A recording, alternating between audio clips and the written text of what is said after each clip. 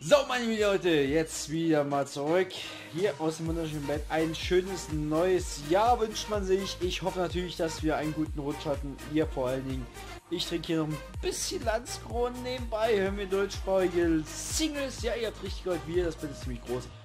Wer aber dahinter steckt, werden wir vielleicht dieses Jahr noch sehen, wenn überhaupt dieses Video ordentlich rauskommt. Wenn ja, Leute, Prost auf, Klick auf, was auch immer.